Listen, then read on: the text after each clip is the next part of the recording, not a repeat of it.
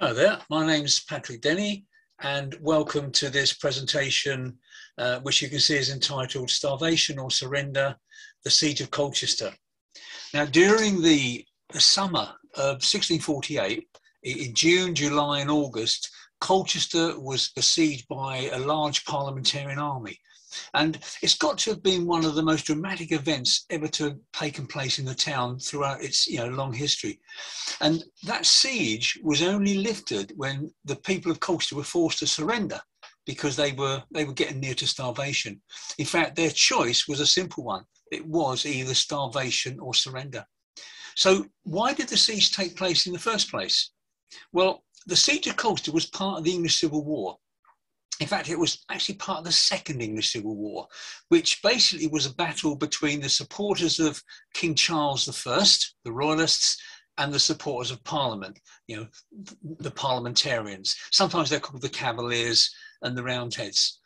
And what sparked this off really was that King Charles I believed very much in the divine right of kings, um, whereby he believed that he received his authority directly from God. So, in other words, all decisions that he made were inspired by God. So, he didn't need to, um, you know, he couldn't be held accountable to Parliament or, in fact, to anyone else. And this eventually, you know, led to a, a standoff between the King and Parliament, and ultimately uh, they went to war. The First Civil War um, began in 1642. It lasted four years. And in 46, 1646, the, um, the king was defeated. Um, he eventually um, was imprisoned on the Isle of Wight. And everybody probably thought, oh, thank goodness, you know, that, that's over, four years of war. But in, early in 1648, there were various groups around the country, particularly in the south of England, who um, were royalist sympathisers. And particularly in Kent, um, a man called George Goring, who was the Earl of Norwich at the time, um, began to raise an army of royalist sympathisers to um, you know, fight against Parliament and to obviously um, try to get the king released. So what happened? Um, there, was, there, was quite a lot of support for this. They um, they took over the towns of Rochester and Maidstone in Kent, but they were quickly repelled by Thomas Fairfax, Thomas Fairfax was the leader of the, he was the commander in chief of the Parliamentarian Army at that time, and he routed them out.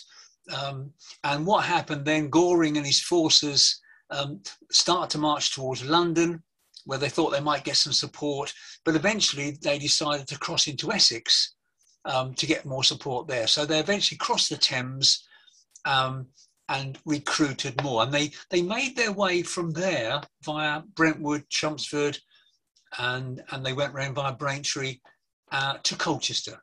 Colchester was their target. That's where they were heading for. And the idea was that, um, you know, hopefully they could recruit more support from that town, pick up lots of provisions, and possibly make their way up north. So that, that's basically the, the background, a bit of background for you. But shall we now have a look and see what we can um, have a look at some of the slides? And I thought we'd just have a quick look at some of the key players. And this is only a few of them. But um, so first of all, we've, we've got King Charles I. So he was the main instigator in this, wasn't he? Really, it was it was it was his belief that he wanted to rule without asking authority from anybody else, and um, which started the whole ball rolling. On the right, we've got Thomas Lord Fairfax, who was the parliamentarian leader. Here we've got two. We've got one royalist and one parliamentarian. So on the left-hand side, we've got Arthur Lord Capel. He was a peer of the realm, um, one or two or three in Colchester, and he was a, a staunch royalist. Um, unfortunately, uh, at the end of the surrender, he was one who lost his life. Not in Colchester, but he, he died in London. On the right-hand side, we've got Colonel Henry Ireton. And you'll note we've got names some of the road names in Colchester are named directly after some of these people. Colonel Henry Ireton was a very staunch parliamentarian. And it's been suggested that at the end of the siege, um, at the time of the surrender, when the death sentence was passed on some of the captains, some of the royalist officers, that um, had it been left to Fairfax, he may well have been persuaded to let them live another day. But uh, apparently, um, Ireton was all for it and he pushed for it And um, that's what actually happened. And he was also a signatory on the death warrant of King Charles I. He was one of the people pushing for him to be executed as well. And if we look on the death warrant of King Charles I, we can see lots of names, but we can just around here we can we can see Henry Ireton's um, name just here. Henry Ireton, of course, had married Cromwell's daughter Mary, and um, the pair of them were very close friends. And now we've got Lucas and Lisle. Charles Lucas, of course, was um, they're both royalist captains, and um, he was from a Colchester family. His family held um, they had the big house on St John's Green, which was formerly part of the St John's Abbey lands. His father, his elder brother rather, was um, Sir John Lucas, and um, and on the right hand side we've got Sir George Lisle. He was from Hertfordshire, um, and these two men were the two who lost uh, ultimately lost their lives um, at the time of the surrender. And two more before we move on from this, we've got Sir Bernard Gascoigne on the right hand side. Um, again, he was a, a, um, a royalist um, captain who at the surrender was also sentenced to death. But um, that sentence wasn't carried out, and we'll, we'll see, talk about that right at the end. On the right hand side, we've got George Lord Goring, who in the First Civil War had been made Earl of Norwich, and he was the royalist leader. So that's the sort of scene set. And um, I just want to talk a little bit about how do we know all this? How do we know all the facts and figures um, and what happened in Colchester, for example? Well, you know, what is the evidence? Well, the evidence we can divide into three different categories. The first one is eyewitness accounts. I think they're the best ones. If, if you can get a diary or an eyewitness account of someone who's actually there or heard directly from it, um, that's going to be a good account. Eyewitness accounts are comparatively rare, but there are a few, and um, I'll speak about those in a moment. The second useful source are things called news books or pamphlets. News books is, is the proper term. And, and they're a, a kind of early newspaper, I suppose.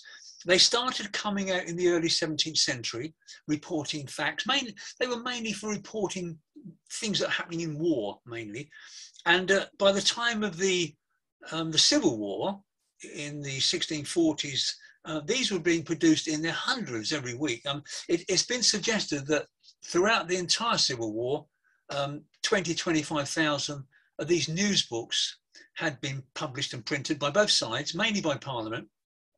And what they do, they give people news on what was happening at the various battles, and you know, the Battle of um, St John's Green, for example, or the Hythe, and you can people could read up, you know, what was happening at the time.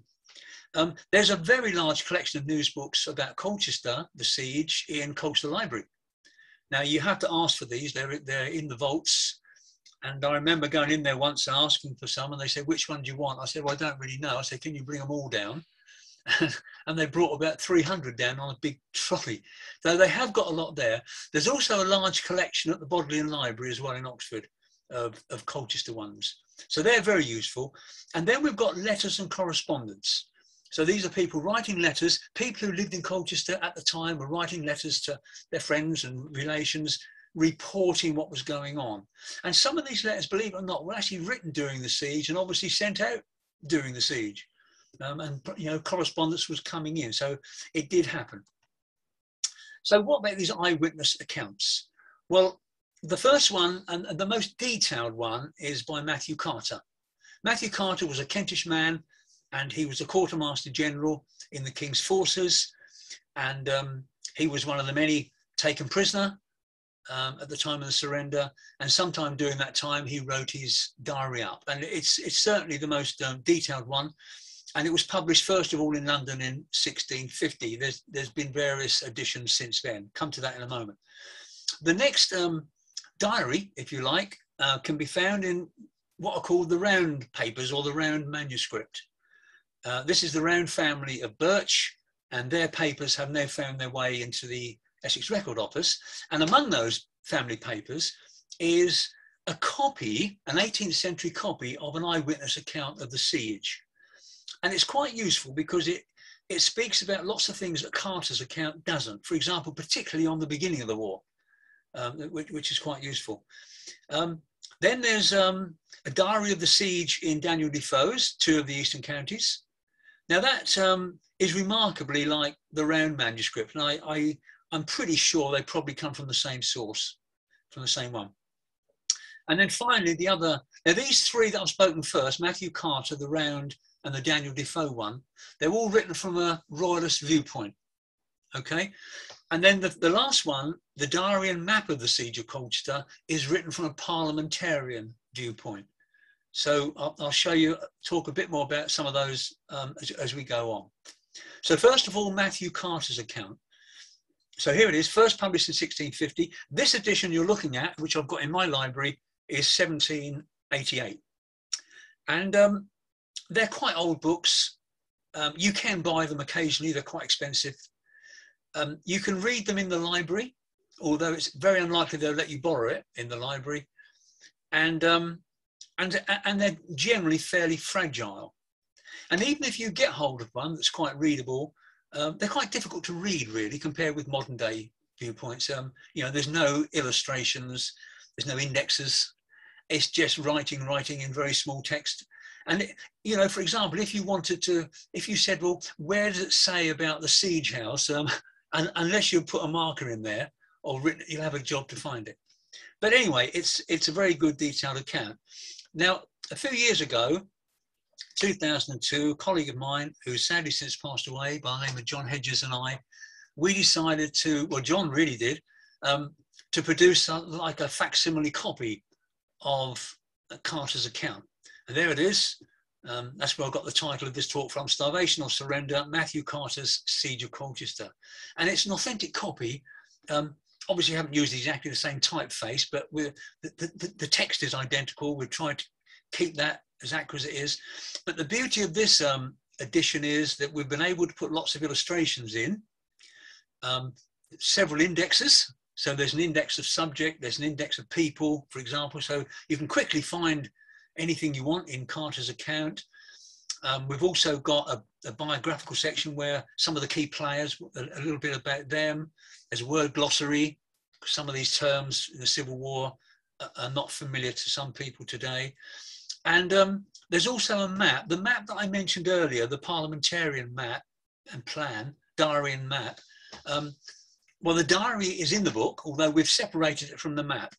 Normally, the, the map and diary are on the same document. We've separated the, so you've got the parliamentarian diary in there as well, and the map is separate as um, a little fold tuck away that goes um, at the back of the book. So um, that's that one. Um, here is um, the actual diary of the siege. And um, so this was published, um, I'm not sure exactly, probably about 16, well, it's, it, it's, it's, it's dated 1648, but they, they always came out a bit later. And this has been published various times. But um, what you've got is the, the map of the siege in the, in the frontier, in the centre, which is a war map, of Colchester showing all the forts, all the trenches and so on and so forth, which we'll come on to in a moment. And around the outside, from a parliamentarian viewpoint, you've got a, a day by day almost blow of how the siege is unfolding. And you can sort of follow it around and it finishes down the bottom here. It's quite big. I've just put this to give you an idea. When you unfold it, it's quite a fairly large, it's sort of an A2 type size. And right at the end, I'll, I'll, I'll um, share with you um, where you can get easy copies of that. What about secondary sources? Well, there are, I mean, there's lots and lots of secondary sources. I mean, th there's so many. But um, until fairly recently, you found that a lot of secondary sources on the Civil War generally um, gave scant attention to Colchester, believe it or not, despite the fact that we had a siege that lasted for three months you're lucky enough to find a mention um, about Colchester. And several years ago, probably 20, 25 years ago, I forget where we were, we were on a holiday somewhere, maybe in a National Trust shop, and I saw this book, and it's a, it's a good book. I'm not deriding the book. It's, it's, it's a lovely book on the Civil War, hardback, glossy pages, lots of pictures and all the rest of it. And, and the reason why I purchased it, because it was quite it was quite cheap. I thought, well, I'll have that. I didn't look at it at the time. When I got home, straight to the index, let's look up all the Colchester references And uh, there's about two. Um, one of them is this um, copy of a news book, which you can see on the left-hand side. And the, the rest of the information about Colchester could easily fit in half a page. So I was quite disappointed that Colchester didn't get the recognition really. Um, but then from that time onwards, things have improved a bit. On the left-hand side, we've got Phil Jones's The Siege of Colchester, 1648. That came out in 2003, and that is entirely about Colchester. So that's um, that's obviously much improved. But I think for me, um, the best secondary source that I know of is this one on the right-hand side here, War in England, 1642 to 1649 by Barbara, Barbara Donagan. This came out in 2008. And um, now Barbara is obviously an academic and um, she has really been everywhere to research this book. You know, National Archives, um, you know, British Library, you name it, record office here, there, and everywhere, and it's it's fully referenced. She hasn't left a stone unturned, really. But for me, what made me happy when I started reading this book is that the back third of the book is all about Colchester. Um, and it's really worth having. It's expensive. I, I think I pay sixty pound or more for that, but um, but you can get it in, in. It might be obviously cheaper now. It will be. You pay sixty pound if you want it when it's published. Um, but anyway, um, so there's um, some examples. I, I, will show you one or two more right at the end um, when we finish. But I just want to just talk very briefly how the two armies arrived at Colchester. Now this is a map um, showing there's two dotted lines. This top one here is the Royalists. So they crossed over near Gravesend and the Isle of Dogs um, to Bow. They then made their way down to Brentwood, Chelmsford, and then they went via Leez Priory, where they stopped off and helped themselves to their armory, their powder, about a hundred of their deer, and, and so on and so forth. Then on to Braintree, and then they arrived at Colchester, on the outskirts of Colchester on the 12th of June. Fairfax, following behind them, crossed at Gravesend, Brentwood, and then virtually straight down the A12, if you like. And he arrived just 24 hours later on the 13th of June. What Fairfax had done, however, one of his colonels, Colonel Whalley, we've got a Whalley Road, haven't we, in Colchester as well, Colonel Whalley had been told to follow the Royalist army. And with a, a party of horse, um, Colonel Whalley had followed them right the way from Kent into Essex and right the way down to Colchester. And um, he obviously kept his distance they knew he was that, that they were following. You know, the royalists knew he was following them, but um, he kept far enough away. But he was obviously reporting back to Fairfax, telling them what was happening, where they're heading, and so on and so forth.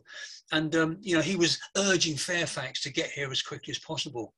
In the round um, diaries, in the round papers, there's an, an interesting little comment which you don't find anywhere else um, about Whalley, and it says um, that on one occasion, Whalley and 18 of his men were standing in the ripening corn at Lexden, singing hymns to pass the time while they were waiting for Fairfax to arrive. And I thought that was quite a nice touch. Can you imagine a group of soldiers today standing in a cornfield singing hymns? Uh, they'd probably be singing anything other than hymns, but that just shows you what, you know, the, the population were although they were divided religiously, they religiously they were kind of religious. They they attended church regularly, and singing hymns would have been a, a sort of normal thing for them. And um, you know, when the war came out, people who were standing singing hymns together were at each other's throats. But I'm sure after the war they were back again singing hymns together. But anyway, that's the kind of um, that was the map. And on the 12th of June, the Royalist Army arrives at Colchester.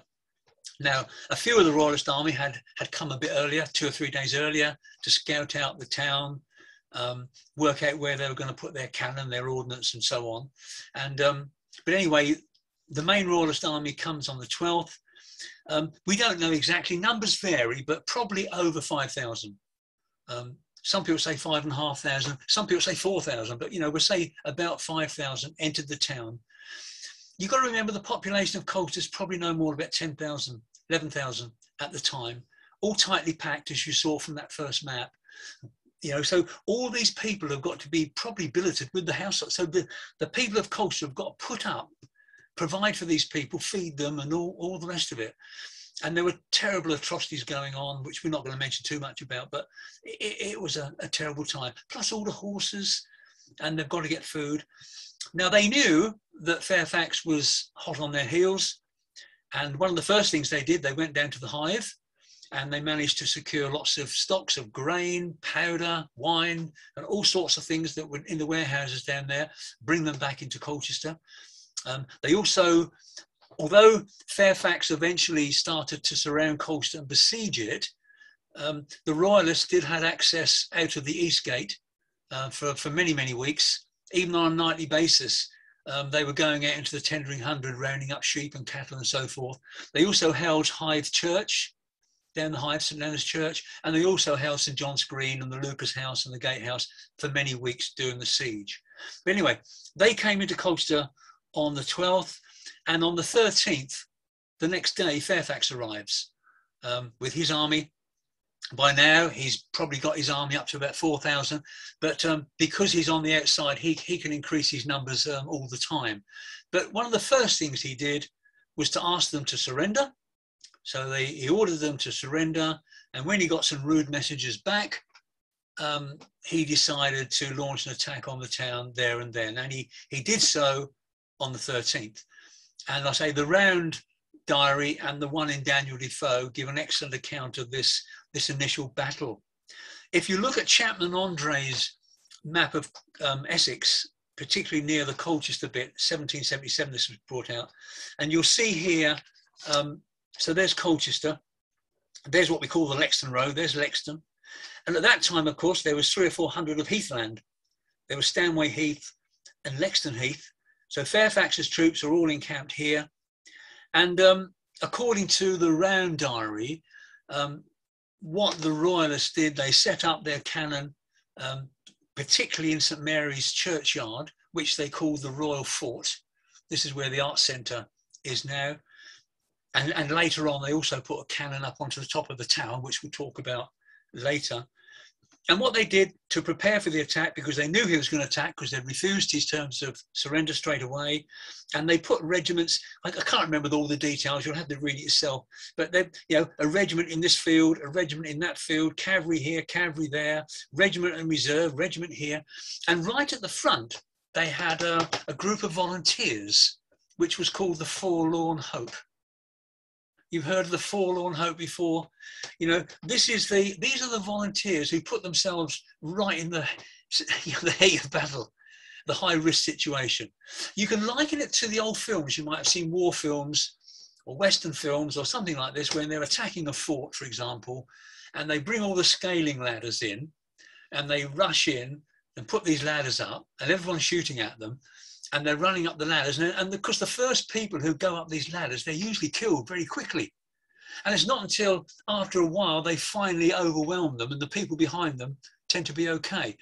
So those first ones is what they call a forlorn hope. And quite often the, the officers would pay them extra money. They would give them rewards to take part in a forlorn hope.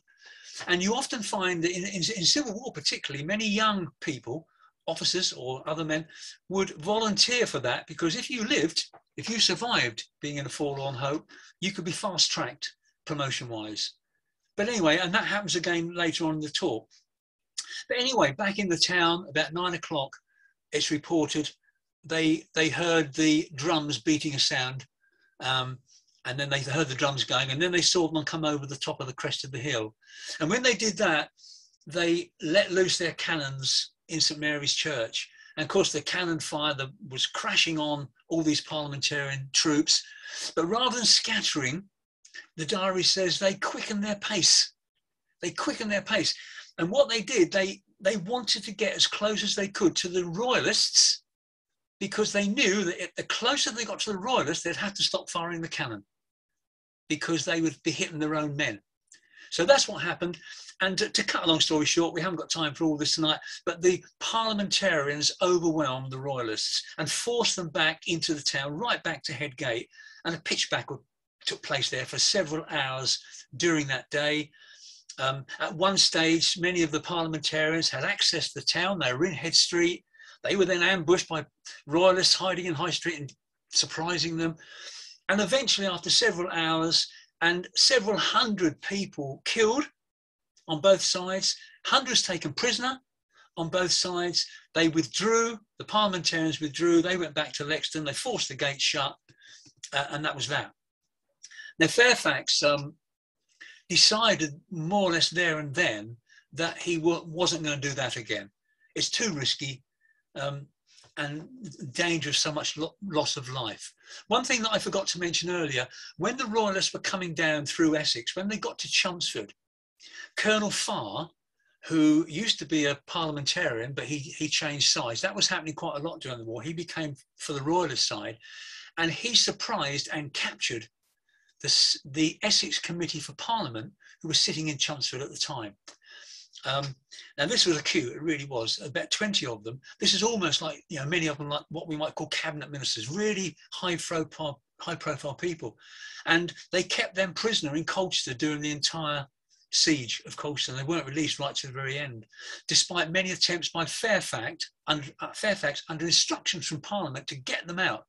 And he offered many um, prisoners in exchange, but the royalists weren't, weren't having any of it. So they kept them in the town. So Fairfax decided the next best thing, a traditional method, he would besiege the town. It would take time, and what he would do, he would try to build forts and defences all the way around the town, A, to stop them escaping, and B, to stop them getting supplies or anything in. But this would take time, and we know that for many weeks they were sort of coming and going at leisure. So they started building on the western side to start with, then they slowly put the noose around, if you like, the whole town. But anyway, you start getting these news books now. This is the, one of the early ones. You'll see it's dated 15th of June. The battle was only the day before. And um, this is a parliamentarian one. They're all addressed to the um, Speaker of the House of Commons. The particulars of the fight at Colchester sent in a letter to the Honourable William Lenthall. Remember that name. William Lenthall, Esquire, Speaker of the Honourable House of Commons, and basically, this, this is what Fairfax said, and he wasn't quite correct here at the time, but anyway, the town is besieged, and 500 of the enemies were taken prisoners, 600 left the town, 60 that were killed buried in one churchyard, besides what was slain in the other part of the town, and he goes on to mention some of the people who, who were actually killed at that time. It's interesting, um, in another diary, these 500 prisoners he speaks about. Now, the Royalists also had prisoners. Apparently, Fairfax sent a message into Goring in Colchester, and they're always very polite when they send these messages. You know, they always sign off your humble servant, although they're at each other's throats, if you like. But Fairfax offered an exchange of prisoners.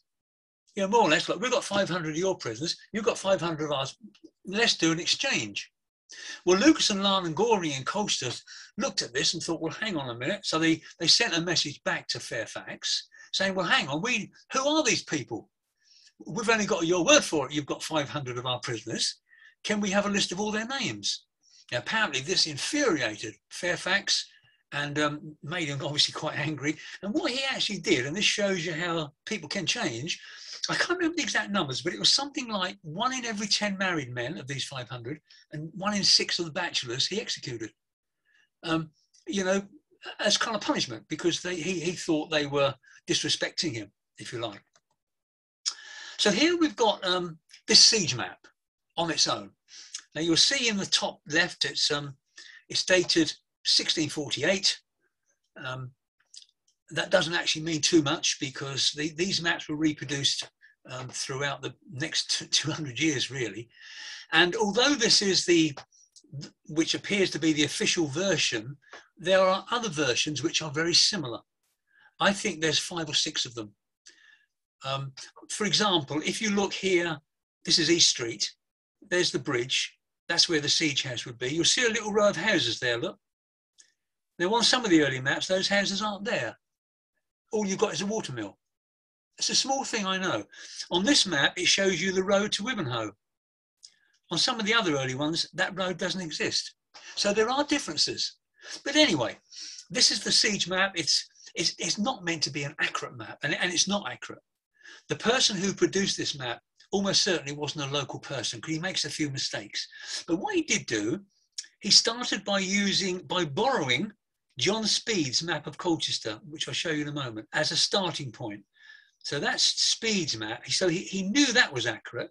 And then he sort of crudely, if you like, drew these roads out, radiating in all directions, and also adding these forts, which are obviously exaggerated in size, and then all the trenches and embankments all the way around the town. So that was the, the, the end plan, if you like. Um, he, now we know he wasn't local. I, will give you a couple of clues. This, this is obviously Magdalen Street here and Hythe Hill. This road here is what we would now call Military Road and Old Heath Road towards Fingringhoe, and yet he's called it Mersea Road, whereas in fact Mersea Road is this one. And here where we, he's got like Butt Road and um, Maldon Road, they're about 200 yards too far to the right. They should be here somewhere. But it wasn't meant to be accurate, not necessarily. It, it was a war map and it served its purpose. Um, just here, look, there's a couple. I mean, you could spend all day looking at this. It's an interesting. Just here, look, you've got Mr. Barrington's house. Now, Mr. Barrington, he was the mayor of Colchester uh, right at the end of the siege. As soon as the siege surrendered, he, he became mayor. And his house, you can see, has been bombarded or been set alight to, probably by the royalists. So the parliamentarians can't use it as an advantage. They set alight to it. That was destroyed. And that is where Winsley's almshouses are now, not far away from that site there. So this is Speed's map from 1610. So that was the map that he used, this bit here. And um, after he'd, re, he'd redrew that, if you like, he was able to add different things such as ordnance in the form of cannons. You can see the little puff of smoke. We've got two here. Um, there's St Mary's, where the art centre is. That, that was called the Royal Fort. And you can see a cannon here pointing, you know, that, that's the way Fairfax was coming. And notice, look, a little cannon on top of this tower, little cannon up there. There's some more houses that have been set alight down here, look, just outside North Gate, same as Mr. Barrington's house. Um, so, and, and, you can, you know, I mean, there's lots of other points of interest you could have a look at. There, another couple of cannon here at the East Gate, look, and um, so he starts building the forts. He starts building the forts on the west side first. I think the first one was Fort Essex, which was nearer to Headgate. And then him, uh, Ewers Fort. These forts were named after the colonels who captained them, if you like, looked after them. So Colonel Ewers, and this would have been on the site of um, where the Institute is and um, St Helena School, that sort of area. And um, in the, and lots of smaller forts as well.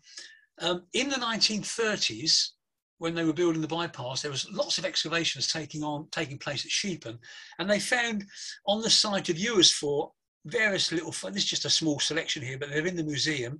There's some coinage from the, the time of the siege, a couple of keys, some musket balls, some powder measures, and some other various bits and pieces there as well. So on the 1st of July, so so Fairfax started his siege, uh, you know, from the 14th, 15th of June, starts building these forts, and by the 1st of July, they've started on building a fort at Greenstead Church. Now, this, this shows in its completed form, but it would have taken a couple or more weeks to have achieved that. Greenstead Church, which um, probably called St Andrew's Church, which is up on the Greenstead estate, and it's, it's just off or on Forest Road on Greenstead Estate. It's a good mile away from Colchester, but um, Colonel Whalley set up a fort here. Remember, he was the one with his men singing hymns in a cornfield at Lexden, and so this is called Fort Whalley. And from here, you can see his cannons. Um, so, you know, these cannons were capable of firing a cannonball well over a mile. You know, and in the, in the days of cannon fire, it really, in many cases, were very much hit and miss as to whether you what you're aiming at you actually hit or even get anywhere near it. So you know if from here you're aiming at the castle, you, know, you could hit the co-op, should we say? You could be you could miss it entirely. But there were some expert gunners, and we'll speak about one later. But some expert gunners who knew exactly what elevation to use, how much powder, etc., etc. And if they're aiming for a house a mile away, they could almost drop it down the chimney. Um, there, there, were, there weren't very many of them around. But anyway, so um, just to remind you that up until early July, the Royalists had been freely able to come out of Eastgate, usually the, under the cover of darkness, go out into the Tendring Hundred, bring in sheep, cattle, as many as they want, no problem at all. Fairfax was, he had to shut that up. That was one of the things he wanted to do. The second thing, he wanted to remove them from the Hythe. And the third thing, from St John's Green. And then finally, St Mary's Church. There was his sort of four targets, if you like. And um, so there is a, um, an engraving of the church. That's what it looked like in 1824. See the town in the distance, some of the windmills and some of the churches on display. And this is the first of a few pictures I'm going to show you by Charles Debenham. Now, many of you will know Charles Debenham. Um, he's an artist in Colchester, been so since around 1950, I mean, a long, long time. But, um, and you'll often see him sitting on a stool with an easel painting something in Colchester. But he also did a, about eight or nine siege pictures. Um, and I, will explain to you later if you want to know why I did that. But anyway, this is one of them. And this shows you, this is probably Whalley's horse, Colonel Whalley with his horse. Um, so we've got the castle, St James Church, East Hill. Um, and there's the, there's the river and there's the bridge. So this is the route that the royalists were coming out at night time going into the Tendring Hundred. And what Colonel Whalley's forces had done, the parliamentarians, had moved their front line right up to that bridge. So where the siege house is now in the mill, they actually occupied that, effectively cutting off their route out of the town. Now, of course, this incensed Lucas and Lisle and Goring, and they were determined they were going to break through. And on the 6th or 7th of July. We don't know the exact date because some of these accounts vary, um, unfortunately. But we have what we call the Battle for East Street. Now, what actually happened um, just after midnight, about 700 soldiers, about 200 horse, and about 500 foot from the royalist town mm, flew down the hill, mm, you know, careered down the hill. Um, now, at that time, you only had a footbridge over the river. In fact, you only had a footbridge until early 1800s, but you certainly had a footbridge here. By the 1800s, it was a big brick one. Um, but, um, and most of the traffic went through the ford here. So they would have charged down here, and of course they met up with opposition just over the other side here, and a pitch battle took place. And um, we can see the damage left in, in some of the buildings. Um, to start with, the Royalists got the upper hand and they pushed the parliamentarians right back up to the Harwich Road area. And then, as often happens in war, a reversal took place and the parliamentarians got the upper hand. And eventually, they were able to push the Royalists right back into the town, um, almost to within shouting distance from the Roman wall. But um, this is an interesting picture. It's taken, obviously, the bottom of East Hill looking towards East Street. This field, Millfield, is still there. Um, on the, the siege house, would what we call the siege house, would be behind those trees there. And um, on the right here, you've got now a large house standing back, which formerly was the, um, the YMCA building. It's a private house now. And just to the left of that, there's a little old building here, look. Now in 1775 roughly, that little building or barn was there and that still survives just about. And it was some people called Doe's Mill. Now, I took a picture of that in 2011 when it was um, fairly complete, if you like. But sadly, in 2017, um, it got set alight by arsonists, I believe, and it was pretty much um, in a bad way. And only today, I went down there. Before this, I thought I'll just see what's what's happening and um, it's still the same. Nothing's really happened. They've covered it up with a scaffolding, but um, it's just bare charred wood. I'm not even sure if there's as much survived now than there was um, four or five years ago. So it's not looking too good. Let's hope they do something with it because it's an important building, part of the history, part of this map, and uh, this photo, and um, this painting even. Uh, just a couple of reconstructions here. The bottom one is by Charles Debenham, and uh, the top one, there's an earlier one published in one of the um, guides to Colchester. We're familiar with this site, of course, the, the siege house, and um, it got battered a bit. Now, in about 1905, um, the current owner, Wilson Marriage at the time, refurbished the building And um, it was at that time covered in plaster. If you look at Charlie Brown's shop up here, many of you will remember Charlie Brown's. It used to, I mean, it, it's a smart place now, but the paint used to be falling off, didn't it? It was quite bad in a bad way. But that was authentic. That's what it should look like. And that's what the siege house looked like. And if Charlie Brown's had decided to chop all his plaster off and paint his beams black, it would look like that. So this is not the authentic version. But anyway, when they did take the plaster off, which was a fashion at the time, think of the Red Lion, think of Timperley's, they all did it, Rose and Crown.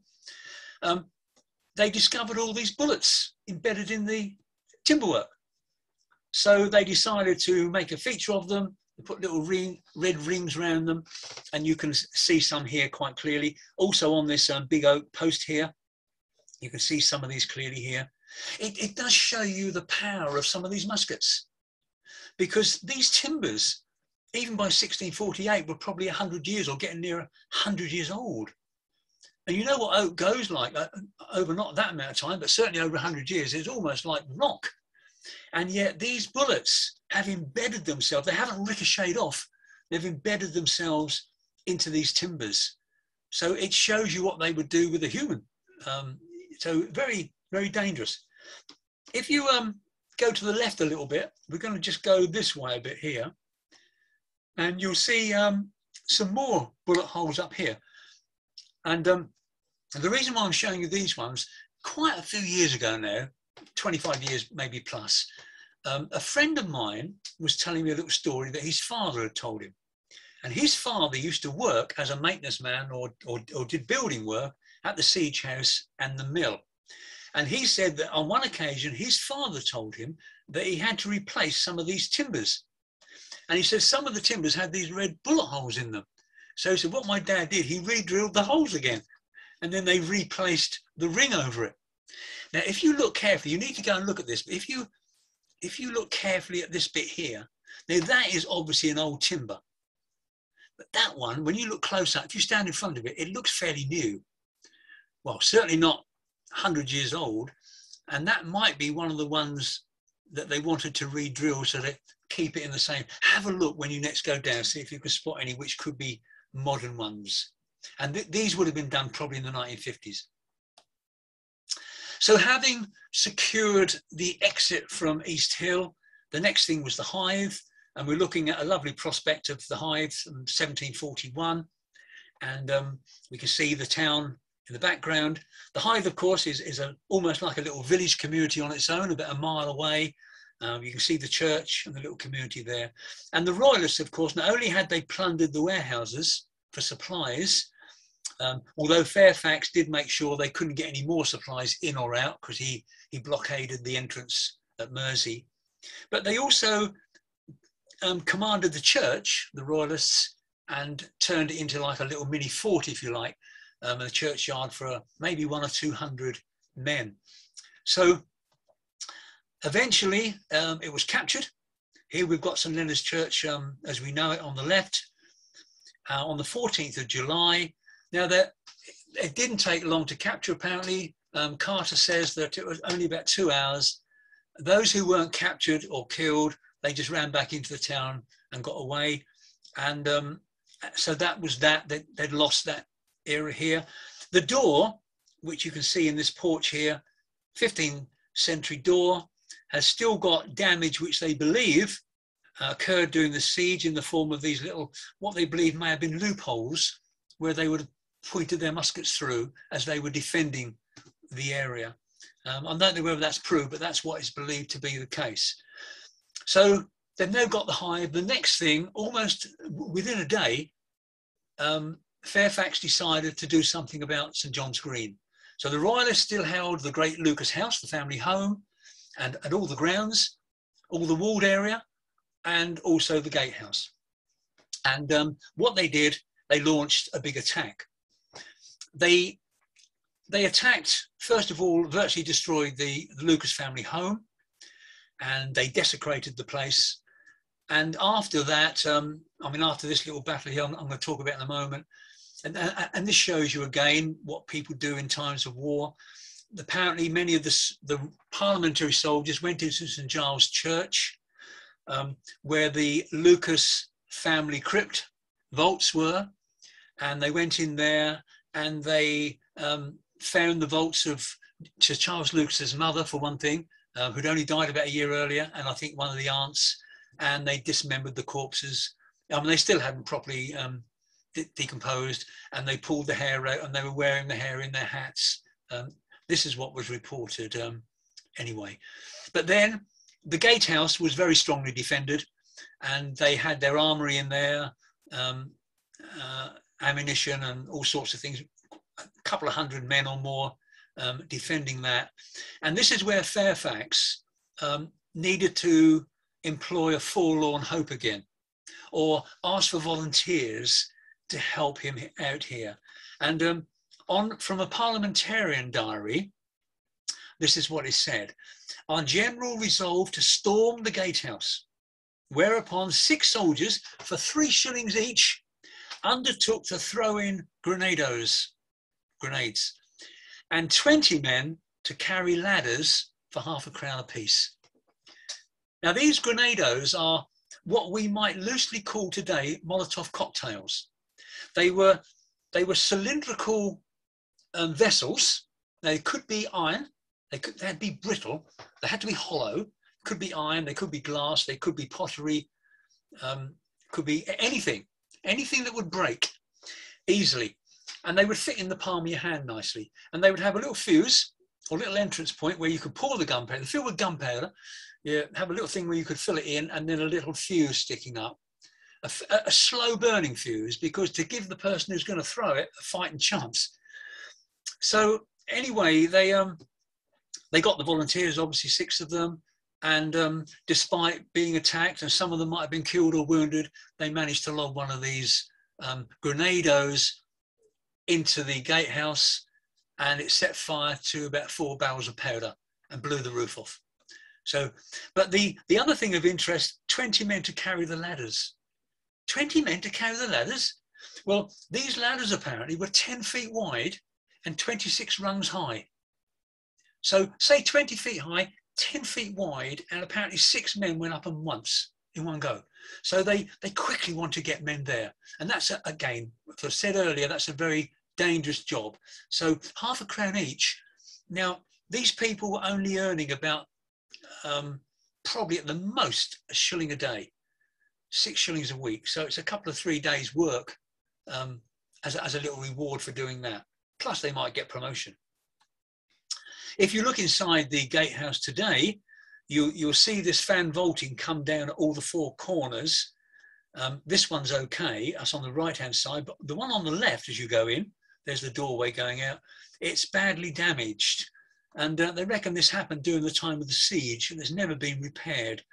Some say that looks like a track of a cannonball, but I don't know, but it's uh, damage from the siege. Now, I know you don't always get over to St John's Abbey Gateway, but if you do, um, that's something worth pointing out perhaps. More newsletters, big battle, big battle here, um, getting the gatehouse. So on the left, we've got a letter sent to the Honourable William Lenthall of the late fight at Colchester and how the suburbs of the said town were fired by the Lord Goring, Lord Capel, Sir Charles Lucas and the enemy. In that previous illustration, you saw the royalists, they'd been defeated and they're rushing back into the town. And what they did apparently was set fire to the buildings as they were going, so as to not give an advantage to the parliamentarians. Whole streets were deliberately set on fire, mainly by the royalists. And at the end of the siege, nearly 200 houses had been needlessly lost um, by that method. And then we have over here, this goes on for about four or five pages, but to the Honourable William Lenthall, Speaker of the House of Commons, in my last, I intimated to you that we hope to gain the gatehouse and the works about it and church, all which the enemy had fortified very strongly. And it pleased God, well, they thought it pleased God, this afternoon about five of the clock to deliver all these places into our hands. The manner was thus. And they go on to describe how they did it. We discharged four pieces of cannon altogether which much amazed the enemy in the works, and then discharged four more. And immediately our musketeers fell on and stormed the gatehouse with ladders and threw in hand grenados. The enemy opposed very stoutly for a while and threw down several of the ladders. but at last gave back. Some held out their handkerchiefs, others fired very fiercely. Yet, notwithstanding, our men gained the work and part of the gatehouse, and throwing in a hand grenade, oh, where there was some of the enemy stood to their arms, it happened to lie amongst their magazine, consisting of about four barrels of powder, and blew up about 40 of their men. It pleased God that we had but one man hurt with that blow. All this evening, our men have been digging and pulling out dead bodies of the enemy, finding here and there a leg and an arm by itself, and so on and so forth. So if you want the gruesome details, you can read about them in these newsletters. Having secured St John's Green, Fairfax has the high ground he wants. During, up until this time, he had, he had spent some time bringing 40 heavy cannon from the Tower of London to Colchester. They were pulled down here by um, teams of oxen. It took about two weeks to get here. Um, and once he had those 40 heavy cannon, he could bolster his forces um, all around the town, but particularly had some heavy guns which he could put on um, St John's Green and aim it at St Mary's Church, and particularly that little gun on the top. So let's um, have, remind ourselves about what's going on here. On the left-hand side, we've got the modern day view of the Tower of St Mary's. This is the art centre, of course. You'll see the, the bottom two thirds is medieval stone and the top part is an early 18th century rebuild because the church was battered during the siege. We often think the top was blown off, but there is actually um, a drawing of St Mary's dated 1669 that shows the tower just about in place, but the whole thing like a, a bombed out building, shall we say. But anyway, it had to be rebuilt. The whole church had to be rebuilt, apart from this bottom bit of the tower in, finished about 1714. I think the battlements were added in 1914, actually. Um, but anyway, the royalists, um, not only had they put cannons on the wall here, they'd also managed to get a cannon up the top here. And you can just about see a little cannon sticking out the top there. Now, you can also see a, a cannoneer up there. Now, this man at the top, at the top here, described by Carter in his account as the name, his name is Thompson, and he's also described in various other sources as the one-eyed gunner. Now, you remember we were speaking earlier about the accuracy of cannon fire, uh, but there were some master gunners or cannoneers who were experts. Um, military historians call them absolute gunners. And there was only one absolute gunner in the entire siege of Colchester on both sides. And it was this man. And he was described that by a parliamentarian. I'll show you. This is from a parliamentarian diary. Tuesday last, 11th of July, Colonel Whalley mounted a culverin himself and fired at the Lord Goring's chief gunner, who hath done much execution, being an absolute gunner. That's praise indeed from your enemy. And fortune so joined herein that the shot be proved effectual, effectual to the loss of the gunner's life. Now, of course, this is another Charles Debenham picture, by the way, which I'm sure you can see. Now, of course, this is the where the story about Humpty Dumpty comes from, because according to the legend or the myth, the, the cannon itself was nicknamed Humpty Dumpty, and when the they blew the tower, they, they killed the gunner, the gun fell to the ground, broke to pieces, and all the king's horses, I don't know what the king's horses have got to do with it, but anyway, all the king's horses and all the king's men couldn't put Humpty together again. And you know, that appears in um, fairy, fairy story books and nursery rhyme books even today. And yet it's not true. Well, 99.99% it's not true. But um, it, it's, I mean, it, sometimes I, I will even tell the story, but then I'll say, you know, that's that's our version. We're not, it's not real. But uh, apparently the the story or the rhyme originated from an Oxford Don in the 1950s as a spoof nursery rhyme. And he put it out there to see what would happen. And at, at, that time, he wasn't even talking about Colchester. He was talking about the, it was a siege engine in the siege of Gloucester. And at some stage, Colchester borrowed it um, for ourselves but it makes um, a good story. And just to add on to this, in 19, um, sorry, 2014, I was put in touch with an American television company. I don't know if you've seen them, um, the American Travel Channel, It's called Monumental Mysteries. And they contacted me and they said something like, hey, we want to come over and do a story on Humpty Dumpty. and we're going to come over all our film, we're going to make a show and all the rest of it. And they said, we'd like you to meet you there and so on. And I said, I remember saying, well, look, before you get on your boat and you know how you're going to get here and spend all the money coming here, you realize it isn't true, the story. And their reaction was something like, we don't care whether it's true or not. We're not going to let the truth get in the way of a good story. So they came and um, I met them in the churchyard. Um, they took pictures from remote things. Um, I forget what they're called, you know, they from high up, drones and things like that. And um, I was filmed in the churchyard quite a lot. And then we went to the George Hotel where they did more interviews and all the rest of it. And it's um, if you look on Monumental Mysteries website, it's it was in July 2015. It was broadcast, and it's one of these programs. It's about an hour long, but they tell three different stories. So they'll start off, say, with Colchester Siege, then they'll go on to another story, then another one, then come back to, to keep the interest going. And when you look at it, I mean, I had to play along with the, the jumbo bit, but you know, they had these cannons firing smoke. Imagine a Hollywood movie of the Civil American Civil War. That's what they turned the siege of Colchester into. You get a chance, have a look. I thought this was interesting because I mean, I have heard some historians actually say that it wasn't a cannon on top of St Mary's Tower. It was just a large gun, if you like, a, a handheld gun. But Matthew Carter particularly describes it as a Saker. And um, so this is a Civil War list of ordnance published, 1646. And in describing a Saker, it's, it's 2,500 pounds, okay, over a ton in weight. Um, it's nine feet long, so it's really heavy. And people might think, well, how do they get it up there? Well, you could go back, well, how did they get the church bells up into the towers all over the country, which often weigh half, three quarters of a ton each? They did it. So that wouldn't have been a problem. And but here you can see some of the other larger cannons look.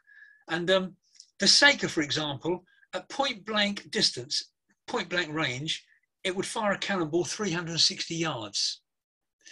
Now, point blank range means with the barrel horizontal. But if you raise the barrel 10 degrees, look how far the range is, over a mile.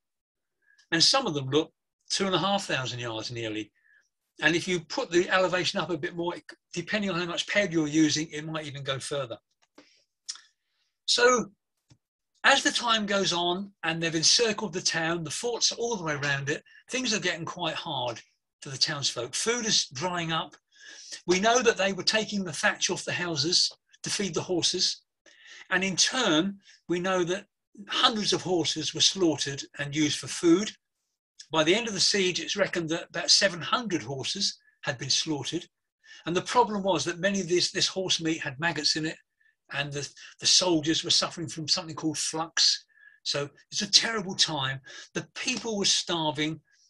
The, the siege was slowly having its effect, certainly by about the first week, second week in August. And it really was a case of starvation or surrender. According to Matthew Carter, he says, yes, the horse flesh was full of maggots. They were eating dogs, cats, rats, and candles. These would be tallow fat candles. And Matthew Carter also states that one side of a small dog was sold for six shillings. That's not the whole dog, that's one side. Now, it's a bit difficult to compare prices uh, from 400 years ago to today. And you could compute it in different ways. Anything, six shillings could be anything from 50 pounds now on the retail price index up to about 15,000 pounds. But I decided to do it on average income because I thought, well, six shillings, I, know that a soldier would earn about a shilling a day if he's lucky. And um, so he might have earned six shillings a week. So that would be his wages for a whole week. So today, I, I, I, I did check recently uh, the average income um, you know, the minimum income is about 540 or something pounds. So, yeah, over 500 pounds if you base it on average labour costs or average income. That's, that's quite amazing. Would you pay that for a nice piece of meat? You might do if you were starving. And then we finally come up to the time where we're getting ready for the surrender. We have this, this is interesting for the people who want Colchester to become a city, look, a declaration of the besieged soldiers in the city of Colchester and their resolution concerning the surrender of the said city. then they talk a bit more about what they've done. Also, the planting of two demi cannon against it and the battering down of part of St Mary's Church. That's where the one-eyed gunner got it. And then because all the cavalry had lost their horses on the royalist side, they, they, they couldn't fight with horses. So they were grabbing anything they could and they would use pickaxes, um, pitchforks, scythes. And um, we, get an ind- we get an indication of that here, look. This is what the parliamentarians are saying that the royalists did. And how a party of Lord Capel's shavers, they're called, issued forth of Buttle's Gate and set upon our pioneers and took some prisoners and hewed one of our men to pieces with their scythes. Moreover, the taking of Differ's, Differ's horse from underneath the walls. These scythes could be really dangerous. If you're being charged out on with someone on horseback, you could take the legs of a horse off if you you get a if you get the swipe right. And on the right hand side, finally, uh, the Scots, which had turned sides again, they were now fighting on the king's side. They had marched down. Fairfax was probably going to try and meet the Scots. He was probably, going to stop in Colchester for a while, head north up the A1, meet the Scots. But the Scots were finally defeated by Cromwell at Preston, and they knew help wasn't going to come. And almost on a daily basis, towards the like the third week in August, many of the women and the children and the men of the town were almost falling down on the road outside Goring's quarters every day, begging to be let loose. Apparently, Kate Carter said they beat the men off with their guns, but the women refused to move. Um, you know, they, they would rather die than suffer starvation. And uh, eventually, Goring did actually open the gates and allow some of these women and vulnerable people to leave, probably Northgate, because when they went out of Northgate, Colonel Rainsborough, who had one of the forts on that side, started firing upon them. So these poor people, starving, women, children, he started firing on them. And, um, and they kept going. And then he told his men, if they don't stop, strip the women naked. And finally, they stopped and they turned around to go back in the town, but the, the gates were shut. They couldn't get back in. So they're caught in no man's land. Now, finally, of course, Goring opened the gates and let them back in. And you might think, well, why is Fairfax being so mean, so hard hearted? The poor vulnerable let them out. But of course, Fairfax knew if he let them out, there'd be less food. You know, the food would go round for more. In, you know, Colchester would last, the siege would go on for a bit longer. It's costing about £4,000 a week to maintain a siege. It's a lot of money. So he kept them shut. He wanted to keep the pressure on. So the Goring, Lucas and Lisle finally asked for terms of surrender. They had been offered terms of surrender numerous occasions during the siege and they had refused them all. And every time you get a new term of surrender, it's harder than the last one, if you know what I mean. So Fairfax wrote back saying, we'll offer all the ordinary soldiers fair quarter. And for all the officers, we'll offer mercy. So they look at this and they write a note back to Fairfax. Can you please explain what you mean by fair quarter and what you mean by mercy? Fairfax sends another messenger back saying that by fair quarter, we mean they will not lose their lives, they will lose their arms, but they, they won't be injured and they'll maintain their clothing. That was for the common soldiers, about over 3,000 of them. As for, the, as for mercy, he said, your fate will be determined by Parliament and he wouldn't be drawn any further. But they had no argument. They had to sign the surrender document. Here's a copy of it. It was signed on the 27th of August, 1648. And some of the details of the terms of surrender on the left hand side all horses and their equipment to be gathered into St Mary's churchyard, all arms, colours, and drums to St James Church, all private soldiers and inferior officers to be gathered into Friar's Yard, presumably this is the Grey Friar's Yard near Eastgate, all other officers to the King's Head. This is off Head Street. And all to be accomplished by 11 o'clock on Monday, the 28th of August. That was the surrender day. And on the right hand side, you can see the prisoners. You look at the bottom total, there was over three and a half thousand people taken prisoner at the end of the siege on the 28th of August. And you can see at the top, Earl of Norwich, Goring, Lord Capel, Lord Loughborough, 11 knights, they would include Lucas and Lisle, nine colonels, and so on and so forth. Down towards the bottom, 3,067 private soldiers, and note also 65 servants to the lords and gentlemen. They were all taken prisoner.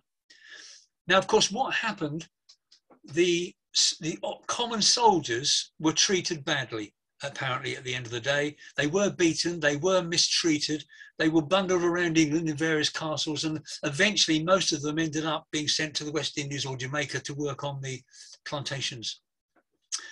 The, the officers, um, after Fairfax arrived in the town, he came into town about two o'clock in the afternoon on that day. He rode round the defences and then he rode into the old Moot Hall, where a council of war was held.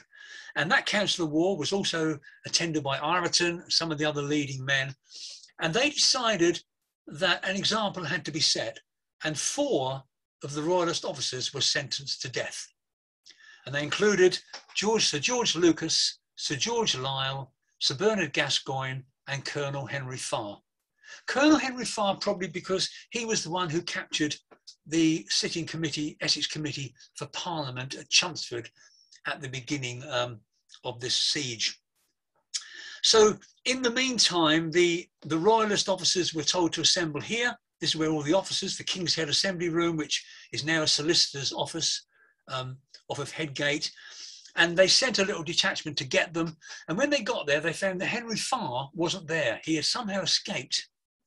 Now, Carter says that he was retaken, but he's the only one who says that. And I can't find any other recollection of him being tried or taken to a court or anything, apart from the fact I know he was the governor of Landguard Fort about 30 years later.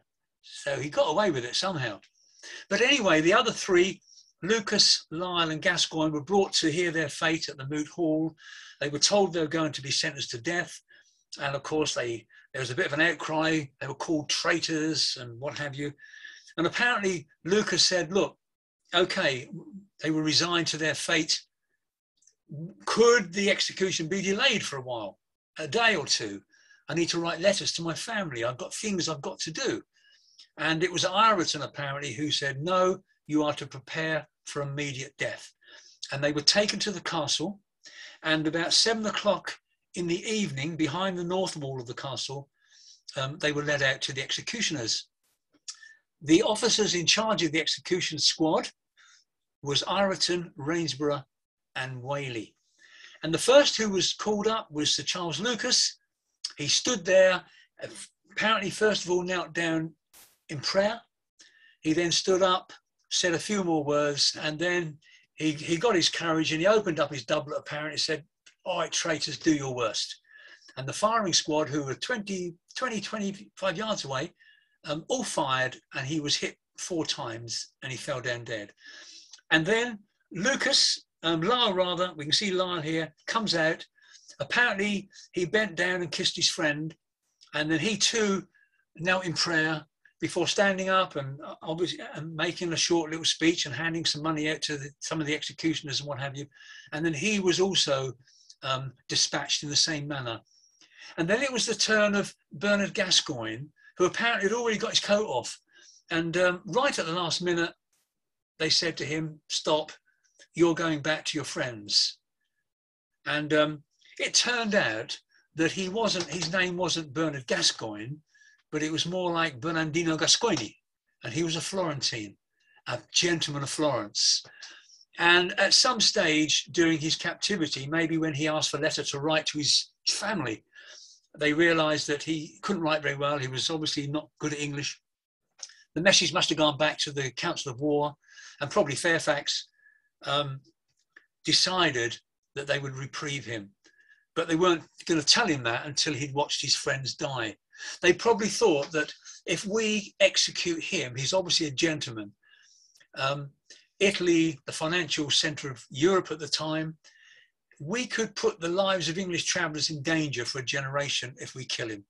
So he was let go, uh, he was banished. He went and he didn't return. He returned to England in 1669 with the Grand Duke Cosimo III of Tuscany on a grand tour of Britain. And apparently he brought his Grand Duke here and stood him on the spot where he watched his, um, his comrades murdered. This is the spot today. Um, the obelisk marks the spot. Um, you can read the writing on. This stone marks the spot where on August 28, 1648, after the surrender of the town, the two royalist captains, Sir Charles Lucas and Sir George Lisle, were shot by order of Sir Thomas Fairfax, the parliamentarian general. So whether it was Ireton or not, Fairfax was the one in charge. He was the one with the ultimate responsibility. Apparently, although this was put here about 1892 when the park was opened, it apparently stands on top of an earlier stone. Apparently, right in the early times, there was a little white, a little wooden cross. Then there was a stone put there, and there was a stone there.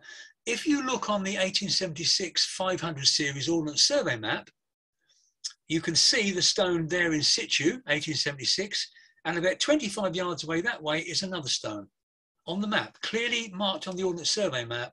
And presumably that was where they were shot. That's where the executioner stood. That's what the theory is. And the stones seem to prove that. Not long after the siege in 15, in 1656, the travel writer uh, John Evelyn visited Colchester. This is what he had to say. On the 8th of July, he said, to Colchester, a fair town, but now wretchedly demolished by the late siege especially the suburbs, which were all burned but were then repairing. At the outside of the castle, the wall where Sir Charles Lucas and Sir George Lisle, those valiant and noble persons who so bravely behaved themselves in the last siege, were barbarously shot and murdered by Ireton. He knew who the, the main culprit probably was in cold blood. And he says the place was bare of grass for a large space, all the rest of it abounding with herbage. And that was a tradition that went on for quite a while. Even Morant mentions it in his um, history of Colchester that the grass wouldn't grow on the spot where these people fell. Now, that may have been because people were tramping over it as a little tourist spot. We don't know. But anyway, the grass still doesn't grow there, does it? Because of the, the tarmac. Um, now, at the time of the restoration, um, Lucas and Lisle were properly buried. Uh, on the, in June 1661, there was a massive civic funeral with full honours.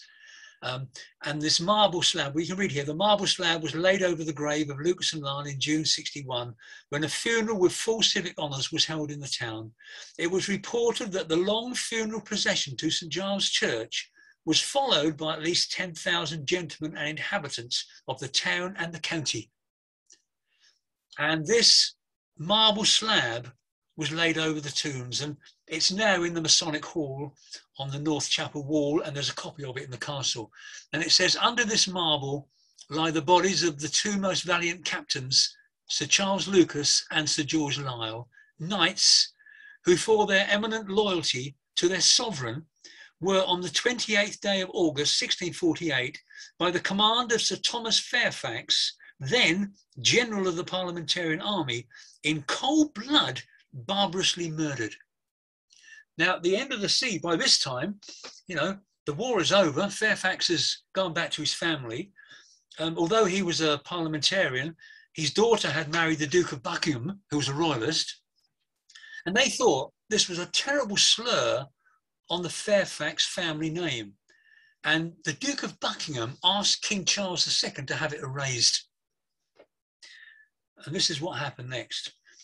After it became known to the Fairfax family, follow me from the top, that the marble slab had been displayed on the tomb of Lucas and Lisle and contained such wording which they thought brought a great slur on the family name, the Duke of Buckingham, who had since married Fairfax's daughter, approached King Charles II and requested that the epitaph be erased. Lord Lucas, Sir John Lucas, Charles's brother, agreed to abide by the king's decision so long as he could replace the original inscription with one that declared that Lucas and Lyon had been barbarously murdered for their loyalty to King Charles, your father. I'm not sure he said that, but that's what he meant. And that his son had ordered this memorial of their loyalty to be erased. Well, he made his. And on the king's order, so it was said, the original epitaph was carved in as deeply as possible. Now, at the end of the siege, in order to avoid the town being plundered by the soldiers, because normally after a siege, what would happen? The soldiers would be given 24 hours to plunder the town, for example. In order to avoid that, Fairfax imposed a fine initially of £14,000 on the town. Two or three million pounds a day, perhaps, a lot of money. And don't forget, the town was in dire straits. Trade had come to a standstill. They were suffering, they were ill. The, the Dutch weavers hadn't been able to sell cloth for the entire siege. They were struggling. And um, so Fairfax eventually remitted £2,000 of this. So that left the town being fined £12,000. And the townspeople made the Dutch, who only represented about 10% of the population, they made them pay half, 50%. Now, later on, when Fairfax realised the poor of the town needed help, he gave another £2,000 back. So the, the Dutch had paid half, the town got two thousand pound back, and of that they only gave the Dutch hundred pounds. They couldn't win, could they really? And the the grave that's in St Martin's Parish Churchyard, which we spoke about last time, of Jacob Ringer, um, he paid ten pounds toward that fine. But um, there they are queuing up to pay the fine. We've got a receipt here um, from it says here Colchester, August 30th, 1648, received by virtue of a warrant from His Excellency the Lord Thomas Lord Fairfax, bearing date 29th inst of John Rebow, the son, the sum of fourscore pounds, 80 pounds, being in part payment of the 10,000 pounds agreed to be paid by the town of Colchester upon the surrender of it as a gratuity to the soldiers. So they paid all this money and um, supposedly stopped the town from being badly plundered. So many of the, so Lucas and Lisle, we know, suffered the ultimate penalty. Many of the other officers were given to the regiments. They were given to the regiments in as much as, you know, they were handed to the regiments to be ransomed to their families. So they'd have a, a colonel or, or captain or someone given to one of the regiments, and then their family would have to pay to get him back again. So that's, that's they got some of the money. Um, the peers of the realm, Loughborough and Capel, couldn't be tried by Fairfax, um, that they are way above his station. So they would be tried by their peers in Parliament, as would Lord Goring. Now, Capel and Goring were taken to Windsor Castle. Later, Capel was transferred to the Tower of London, um, from which he escaped. One of the very few to do so, as you can see in this illustration here. And apparently he escaped and he was given a ride by a waterman um, over to some other part of the Thames, and um, he was betrayed, I think, for forty pounds reward. So, and he, um, there was quite a trial. You can read all these trials if you're interested, but he was finally beheaded um, not long after Charles the First had suffered in Whitehall. Goring. Now we can see two people here: William Lenthall, who I've mentioned a few times, and Goring. Goring was tried by his peers in Parliament and he was found guilty. But he of treason. But he appealed and on appeal the verdict was split even stevens. And the speaker of the house of commons had the casting vote. Now according to matthew carter's account apparently at some stage prior to all of this um, goring had advanced lenthall a large sum of money when he was in need. And i suppose this was payback time because Lenthall came down on the side of Goring and he was let off and he went back to his, his estates, etc., etc. And here we've got um, an account of the various houses that were destroyed during the siege. Uh, you see some of them listed by parish, 186 altogether. And, and finally, um, I thought I'd just show you this. This is um, a page from the Borough Assembly book, and um, it's the first meeting uh, immediately after the end of the siege. And although Colchester um, had hosted this large royalist army, you know, for about three months during the siege, um, if anything, Colchester stood for Parliament. So it's no surprise really that um, at this particular meeting, if you notice, you'll see lots of names have been struck through, you know, maybe 10 or more of them. And these were known to be royalist sympathisers. And this was the, the first opportunity really of purging them from the corporation.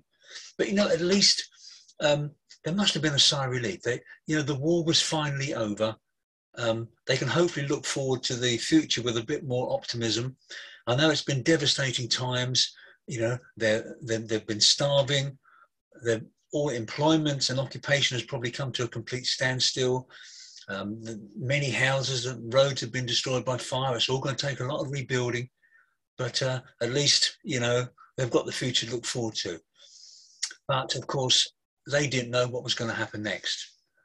And less than 20 years later, we know that not only Colchester, but the whole country really was hit by the devastating Great Plague. And in Colchester, nearly half the population were to lose their lives at that terrible time. But I'm going to finish now. I'm just going to conclude by just pointing out another couple of um, sources you might be interested in. I've mentioned some of these before. On the left-hand side, we've got the Siege of Colchester leaflet. This, this opens up into quite a large um, piece and it includes that large siege map in the middle, which I showed you right at the beginning. And over here on the, the right-hand side, a lovely little diary of the siege by Daphne Woodward and Chloe Cockrell, former librarians at Colchester. And what this, how this diary is different, what they've done, they've taken um, pieces from all other diaries and other news books and other sources and wove them into one general diary. And it's a blow by blow account of the whole 11 weeks of the siege. And at the end of that, there's also a very useful bibliography and some references that um, you can find further information from. So I'm going to finish there. Um, I hope that's been of some interest to you and uh, thanks for listening in.